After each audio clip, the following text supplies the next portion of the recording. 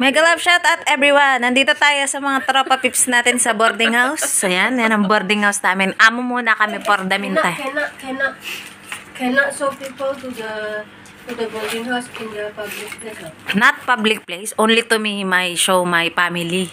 Oh. Ayan, ang buhay ko muna ngayon, no? pa laptop, laptop lang, iba tulog. Ayan, chika-chika lang kami. This is the boarding house, 'di ba? Hayahay lang. oh. Yan ang mga paa ng mga amo.